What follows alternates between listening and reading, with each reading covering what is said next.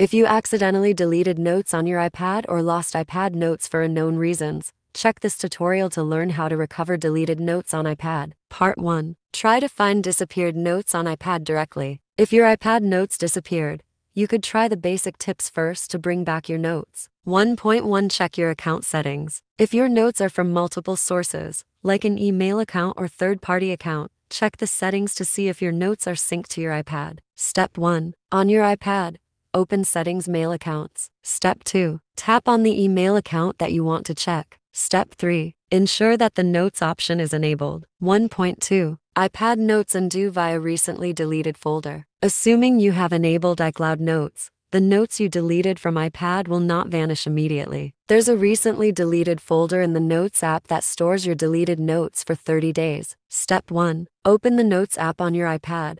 Tap the back icon to view the folders. Step 2. Tap the recently deleted folder and search for your deleted notes. Step 3. Tap Edit from the top right corner. Step 4. Select the required Note Tap move and choose a folder to store your note. Tip. If your notes are from other accounts, like Gmail or Yahoo, you can open the Mail app with the corresponding accounts and find your notes in the trash folder. Part 2. How to retrieve deleted notes on iPad via iTunes Backup No data loss. If you have backed up your notes to iTunes before, they are gone. You can use Coolmuster iPhone Data Recovery to help you selectively restore Note S and Note attachments from iTunes Backup. Step 1. Download and open this Coolmuster iPhone Data Recovery on your computer select the Recover from iTunes Backup file mode. It will automatically scan for the iTunes backup on your PC and display them on the screen. Step 2. Select the backup that stores your deleted notes on iPad and then click Start Scan to continue. You can select the data type you need and then start the scanning. Step 3. Click Notes in the left sidebar,